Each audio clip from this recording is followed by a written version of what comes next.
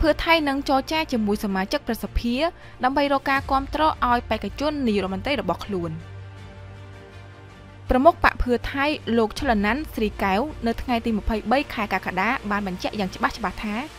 បករបស់លោកបានចាត់ចែងឲ្យសមាជិករបស់ខ្លួនឲ្យតាក់ទងទៅសមាជិកប្រសិទ្ធិជាលក្ខណៈបុគ្គលក្នុងការស្វាស្វែងរកការគ្រប់គ្រងបេក្ខជននាយរដ្ឋមន្ត្រីរបស់ខ្លួន។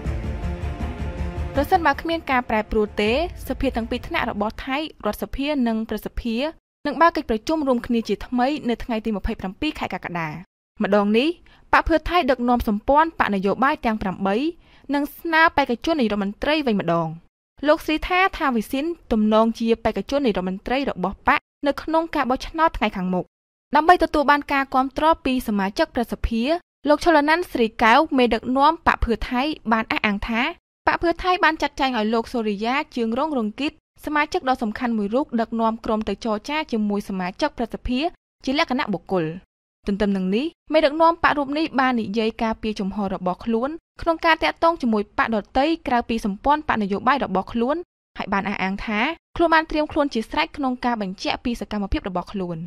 នៅថ្ងៃទី22កក្កដាកន្លងទៅមេដឹកនាំបកភឿថៃបានជួបក្រៅផ្លូវការជាមួយបកភូមិចៃថៃ បកជាថៃរូបរួម និងបកឆាតនាខ្លាដើម្បីជជែកពីស្ថានភាពបច្ចុប្បន្នក៏ដូចជាស្វែងរកដំណោះស្រាយលើភាពជាប់គាំងនយោបាយ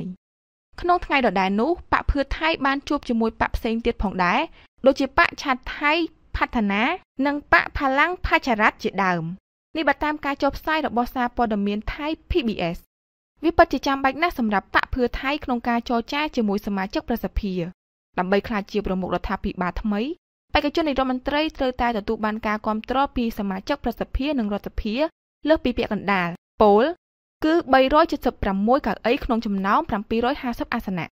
កន្លងមកលោកភីថាលឹមឆរិនរ័ត្នមេដឹកនាំបកឈ្មោះទៅមុខមិនបានទទួលសម្លេងគ្រប់គ្រាន់ឡើយដើម្បីរៀបចំរដ្ឋាភិបាលថ្មី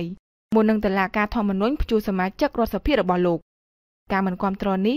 ធ្វើឡើងដោយសារសមាជិកប្រសិទ្ធិមិនពេញចិត្តនឹងបកឈ្មោះទៅមុខដែលមានបំណងធ្វើវិសោធនកម្មច្បាប់ប្រមាថព្រះមហាក្សត្រ